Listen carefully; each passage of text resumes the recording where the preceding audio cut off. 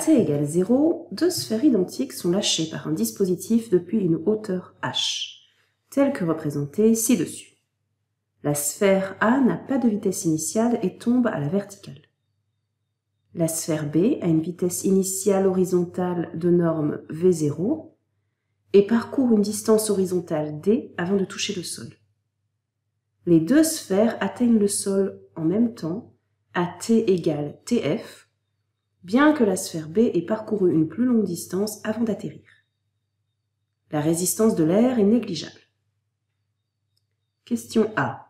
Les points ci-dessous représentent les sphères A et B.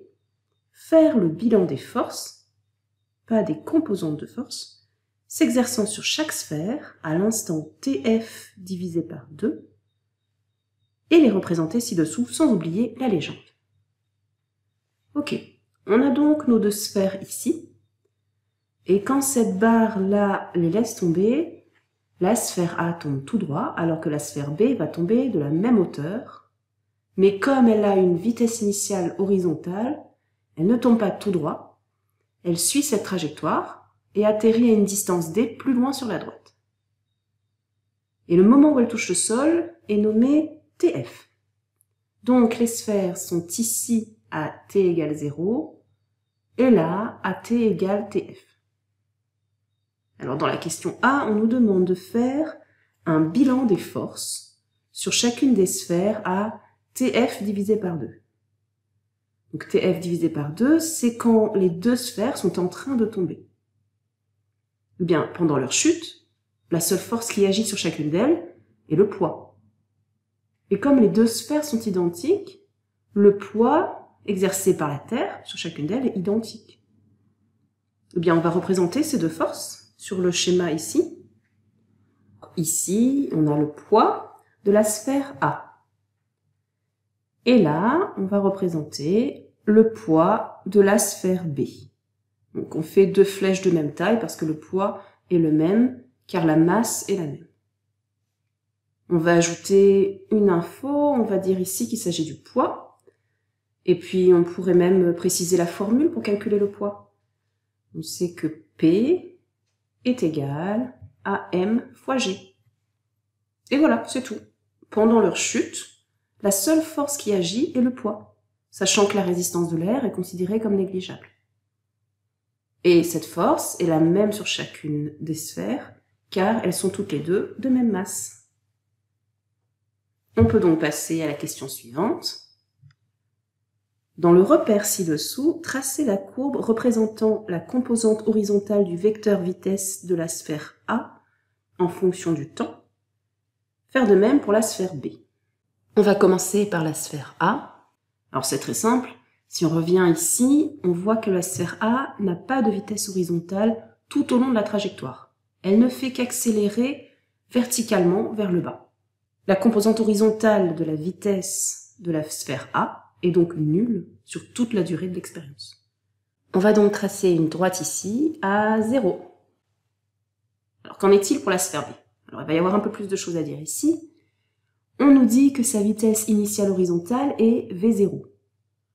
Comme la résistance de l'air est négligeable, elle va continuer à descendre à V0 vers la droite jusqu'à toucher le sol.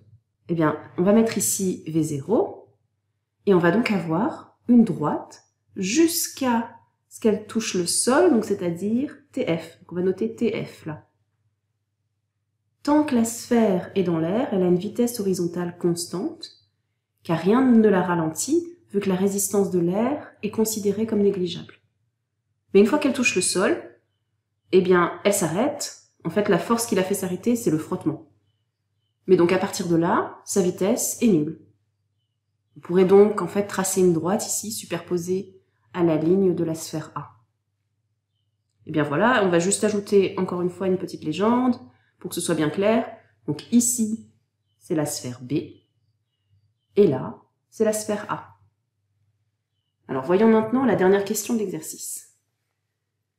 On nous dit, expliquez pourquoi les sphères atteignent le sol en même temps, bien qu'elles ne parcourent pas la même distance rédiger un paragraphe clair et cohérent et faire référence aux réponses apportées aux points A et B. Ok, alors on va réfléchir à un paragraphe clair et cohérent. hum, voilà ce que je te propose. Alors, on va écrire de t égale 0 à t égale tf, la seule force agissant sur les sphères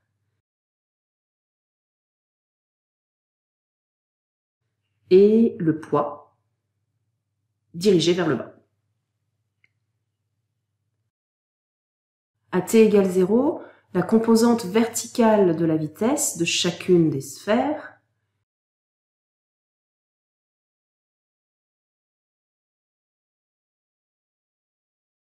est nulle. Après t égale 0, elles subissent la même accélération.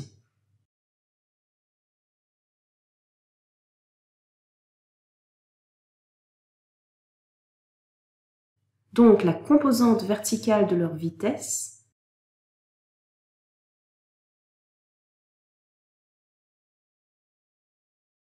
varie de la même manière.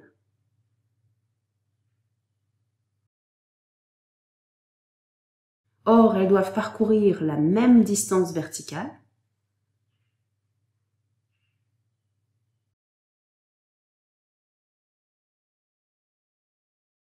C'est pourquoi elles touchent le sol au même moment.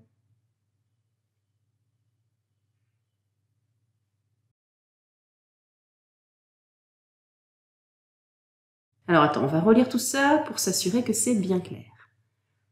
Donc, de t égale 0 à t égale tf, la seule force agissant sur les sphères est le poids dirigé vers le bas. Oui, ça c'est ce qu'on a vu dans la question A. À t égale 0, la composante verticale de la vitesse de chacune des sphères est nulle. Après t égale 0, elles subissent la même accélération, donc la composante verticale de leur vitesse varie de la même manière. Or, elles doivent parcourir la même distance verticale, c'est pourquoi elles touchent le sol au même moment. Bon, écoute, ça me paraît pas mal.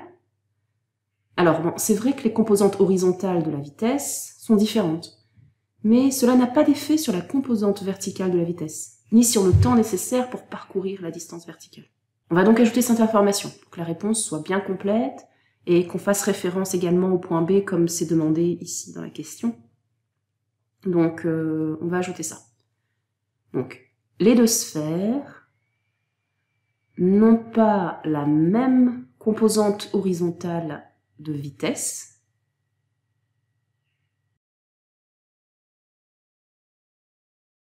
mais cela n'a aucun effet sur le temps qu'elles mettent pour parcourir